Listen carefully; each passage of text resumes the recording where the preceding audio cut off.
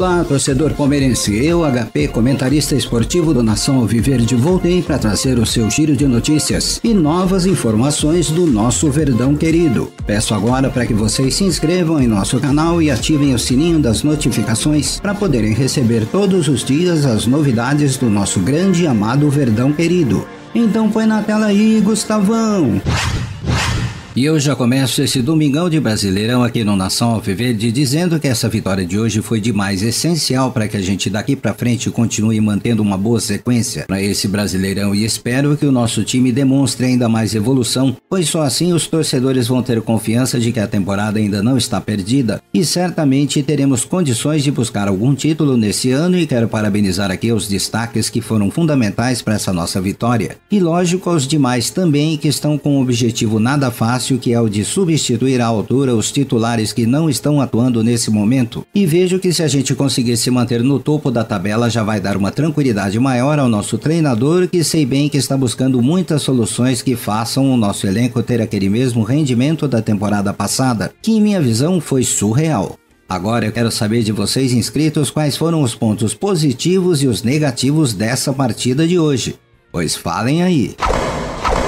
E eu já falo aqui para todos que a nossa comissão técnica está bastante confiante com a chegada dos reforços que estão vindo da parte interna da academia e que poderão dar mais opções para algumas posições, principalmente nosso meio de campo que está sentindo bastante a falta dos volantes que foram o grande diferencial nosso para as conquistas desses últimos títulos. E creio que nessas próximas semanas já teremos a dupla Patrick de Paula e Danilo, que já demonstraram que precisam e muito ser os nossos titulares por conta da agilidade que os dois trazem para esse nosso meio de campo, e por essa razão eu sigo dizendo que só vou ser a favor da saída de cada um deles caso chegue algum europeu pagando o valor superior aos 200 milhões de reais, e creio que muitos de vocês inscritos concordam comigo, pois sabemos que temos muitos grandes talentos que ainda não são tão valorizados assim lá do outro lado, mas imagino que se fizermos uma primeira venda de valor mais alto, vamos conseguir valorizar também os demais, não acham?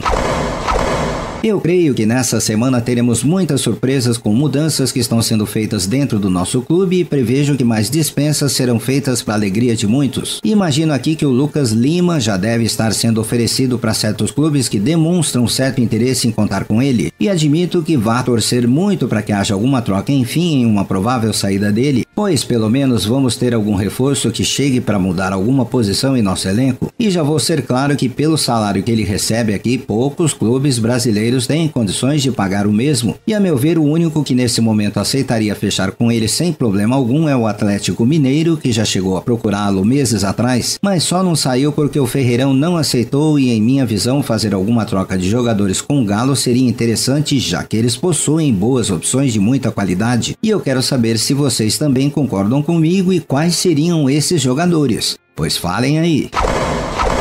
E eu aproveito para dizer que nesses últimos meses a gente conseguiu a proeza de ter acordo com mais de oito jogadores que, para nenhuma surpresa minha, não conseguimos fechar com nenhum deles sequer. E deixo-os cientes de que em certos acordos houve muitas exigências para a gente ter fechado. Mas vou ser claro em dizer que tivemos a oportunidade de trazer sim alguns destaques, como o Atuesta, que estava animado para vir para cá, mas por conta de alguns detalhes acabamos não conseguindo garanti-lo. E lembro aqui que o único mesmo que esteve perto da da gente, por incrível que possa parecer, foi o Borré que até fechou conosco, mas na hora de assinar acabou desistindo por conta da preferência pela Europa. E por essas e outras que às vezes até entendo que o nosso diretor tenha feito o possível pela grana que foi disponibilizada para ele, mas sou sincero em dizer que ele poderia ter sido mais efetivo e atuante em certas oportunidades que teve. E por conta dessas situações chatas que vejo torcedores pedindo a volta do antigo diretor, que não descarto poder voltar no futuro com a chegada da presidente Leila Prince principalmente.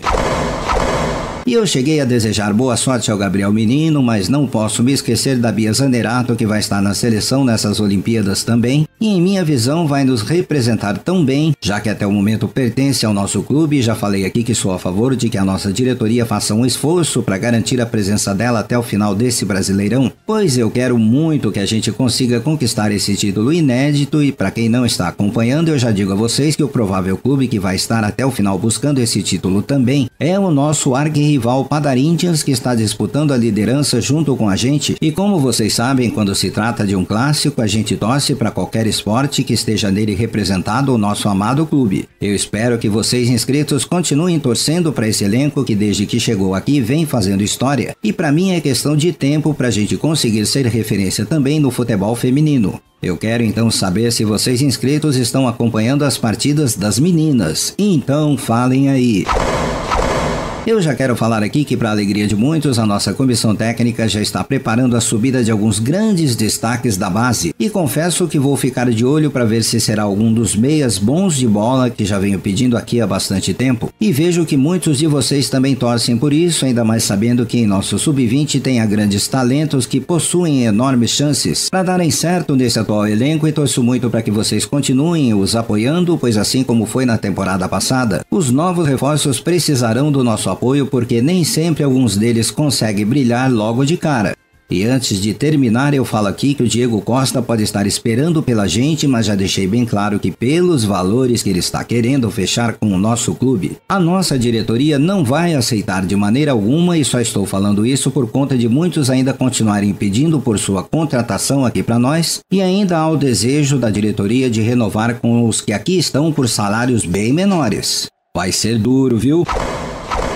Obrigado por estar acompanhando sempre a Nação Alviverde. Eu me despeço aqui e deixo meu abraço do HPzão para todos. Amanhã estou de volta mais rápido que cobranças de jogadores idolatrados no time do Serazintians. Time esse que deve mais marmitas que o Bom Prato em São Paulo. Até amanhã e abraços do HPzão.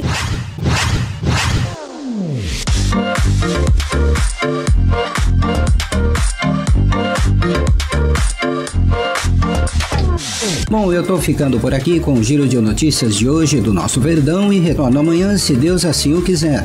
Obrigado pelos views e likes para os nossos vídeo posts diários e continuem assim, pois estaremos sempre juntos por aqui com essa nossa torcida apaixonada e que muito ama esse nosso Verdão Deca campeão.